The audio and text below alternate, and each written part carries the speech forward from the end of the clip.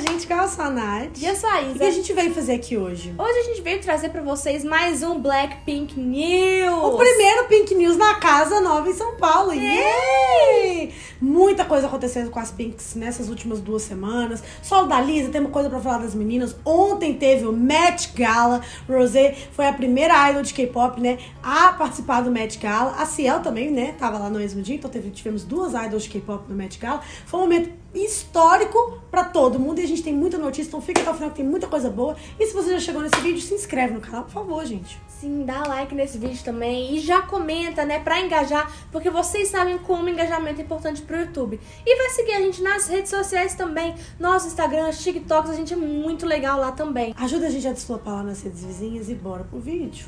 Já vamos começar falando do solo da Lisa, mas antes a gente tem que agradecer vocês, porque por causa do nosso react do solo da Lisa, a gente ficou em 16º lugar no Em Alta! Dois dias seguidos, né, gente? A gente ficou no em alta aí no YouTube Brasil. Muito obrigada, vocês foram muito tops com a gente. Esse solo da Lisa quebrou muito recorde. E assim, nos ajudou também a quebrar um milestone no canal, um recorde pro pessoal. Então, muito obrigada. Gente, todo mundo aí ficou sabendo, né, que a Lisa acabou de fazer o seu debut com La Lisa. Também tem um mini álbum aí com a faixa Money, uma B-side. E ela já veio quebrando tudo, né? O MV lendário, todos os looks lendários, tudo que ela serviu pra gente nessa era icônico. Obviamente, claro, ela se tornou a solista a bater o recorde de maior número de visualizações em 24 horas, batendo assim a Taylor Swift com Me. Uau! É pouca coisa, gente. Ela só bateu a Taylor Swift. Sim, a Taylor Swift detinha esse recorde para uma solista com 65 milhões. Agora a gente tem a Lisa com 68 milhões em menos de 24 horas, quase 70 milhões. E atualmente o vídeo tem mais de 100 milhões de views. Gente, sério, tem dias que o vídeo foi lançado dela. A Lisa é muito poderosa. E a canção também se tornou a música que mais conseguiu o primeiro lugar no iTunes pelo mundo ao alcançar o topo em 60 países. E durante uma entrevista coletiva com o ID, a Lisa chegou a dizer o que, que os fãs poderiam sentir com esse trabalho solo. Enquanto nós nos desafiávamos com vários estilos musicais e colaborávamos com artistas diferentes, eu soube no que eu sou boa. Eu acho que meu álbum foi criado a partir desses momentos. O mais importante são os Blinks que estiveram conosco por 5 anos. Eu ganhei muita força graças ao apoio deles. E a Liz ainda pegou todo mundo de surpresa ao lançar o Lily's World, né? uma série de vídeos no seu canal oficial. E no primeiro episódio dessa série de vídeos, ela mostrou o processo né, de trabalhar com Lalisa. Ela mostrou todos os looks icônicos, todos os behind the scenes, mostrando mesmo todo o processo criativo de como é que foi produzir, criar os looks, se vestir pra gravar o MV. E ela também foi super honesta com a gente, que ela mostrou o processo de descoloração do cabelo dela, né? Que é naturalmente preto, e ela ficou loura aí pra esse comeback, em alguns takes e tudo mais. E ela mostrou pra gente que o cabelo dela tava todo estragado, cheio de ponta dupla. Eu achei isso tão legal, porque mostra que ela é uma idol muito parecida com a gente. Se a Lisa, que é tipo a mulher mais maravilhosa, perfeita do mundo, também tem ponta dupla, você também tem o direito de ter seu cabelinho aí, às vezes, né? Precisando de uma hidratação e tá tudo bem. É muito baque que essa galera aí do K-pop sofre nesse couro cabeludo. E Lisa abrindo pra gente, tipo assim, dá um pouco de tipo, gente como a gente feeling, sabe? Além de que o debut dela no Jimmy Fallon foi lendário. Todos os states que ela entregou pra gente até agora dessa música estão lendários. Qual que é a sua parte fave dessa era da Lisa, né? Do debut dela, de tudo isso que circunda o debut dela? Comenta aqui embaixo que a gente quer saber. A próxima notícia que a gente vai falar é uma notícia que deixou todos os blinks com o coração assim, a mil. Porque a gente sabe que as meninas já estão acostumadas, já estão trazendo demais pra gente o quê? Parcerias internacionais. A gente teve parceria com a Dua Lipa lá em 2018, com Kiss and Makeup. A gente teve parceria com a Selena Gomez, com Lady Gaga. E agora teremos parceria com o Ozuna e a Megan Thee Stallion. Sim, gente, o Ozuna estava no tapete vermelho do VMAs e ele chegou a falar que, tipo assim, vai rolar aí uma collab com as meninas num futuro próximo. This, that's the premiere from here. DSNA, Megan Thee Stallion, Blackpink, and Ozuna. It's coming up next. Cara, parou a internet, quebrou a internet. Temos aí de novo pra sair um grande featuring com o Blackpink. E vai ser com certeza uma música muito foda. O Ozuna tem hits como Tac Tac. Ele é um cara aí que tá na boca do povo, né? Como um dos maiores cantores de reggaeton da atualidade. Então a gente tá muito animada, porque Megan Thee Stallion, Blackpink e Ozuna no mesmo record. A gente tá, what? Me dá agora. E nesse vídeo a gente tá falando muito sobre quebra de recordes, então a gente precisa vir falar do recorde que o Blackpink quebrou, que é de canal de música com a maior quantidade de inscritos no YouTube, com mais de 65,4 milhões de inscritos. Cara, as meninas não param de ganhar inscrito, elas ficam o dia inteiro aí ganhando inscrito. E elas falaram o seguinte quando esse recorde foi quebrado. Não podemos acreditar, é um momento milagroso criado por nossos Blinks. Queremos compartilhar essa honra com nossos fãs ao redor do mundo que sempre nos amam e nos apoiam.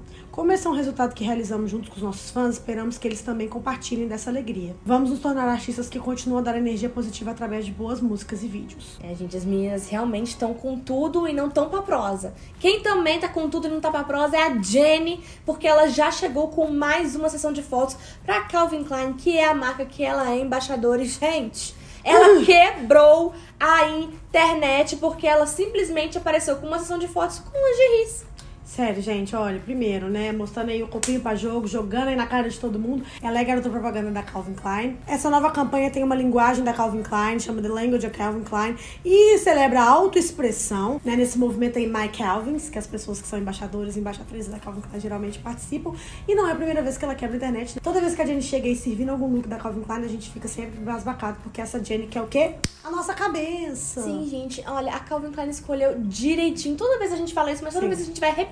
Porque eles não poderiam ter escolhido pessoa melhor. Ela é a cara da, da marca Sim, mesmo. ela é realmente uma Calvin Klein girl nata. E como em todo Pink News, a gente precisa falar sobre Snowdrop, né? Atualizar vocês a que pé anda, né? Que pé está andando as produções, o que está acontecendo com o Snowdrop. E estamos muito felizes de anunciar que tivemos um primeiro teaser, um teaser inédito Real. de Snowdrop. É ou seja, vai sair esse ano. Não temos uma data exata de estreia, mas teve um grande teaser de todos os upcoming programs da JTBC. Eles mostraram vários mini teasers de diversos dramas que estão aí pra estrear e Snowdrop foi um deles.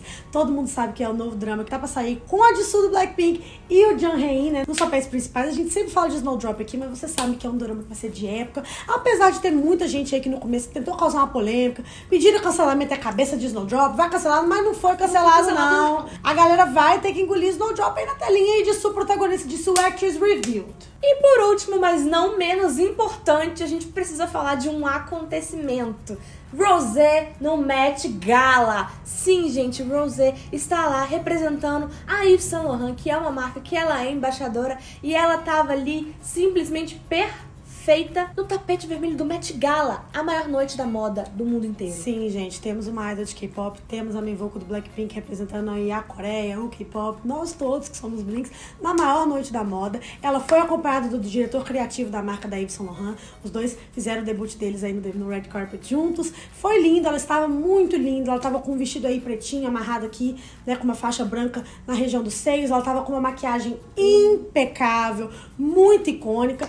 Mas todo mundo sabe, né, gente? Onde tem idol de K-pop, tem hate, tem controvérsia. E a galera começou a levantar, obviamente, uma especulação de que o vestido pudesse estar um pouco simples demais e tudo mais. Mas olha, sobre isso a gente tem algumas ressalvas. Primeiro que a gente tem um tweet muito interessante que a Bruna Marquezine fez, falando sobre, tipo, como é o debut de uma pessoa no Met Gala. A primeira vez que você vai no Met Gala, você não vai conseguir servir um look mais icônico da noite, porque tem burocracias e jogos de interesses e politicagem dentro dessa noite. Não vai, você não vai conseguir servir um look, sei lá, do Papa da Rihanna no seu primeiro Met Gala. Não é assim que essa não é assim que que funciona. funciona. Não é assim que funciona. Você também não tem muita, você não tem muita escolha do que você vai vestir na sua primeira noite no Met Gala, até porque a galera não vai querer uma estreante, a pessoa que tá ali pela primeira vez, roubando a cena de pessoas que estão ali há anos. Principalmente Então- se for uma pessoa tipo Anitta, que é latina, uma pessoa que é rosé, tipo, amarela. Então, é sobre isso. Mas a gente acha que no que deu pra acontecer ali, ela serviu muito. Ela é uma menina que tem muito jogo de cintura, ela é uma menina que ela tem muito impacto.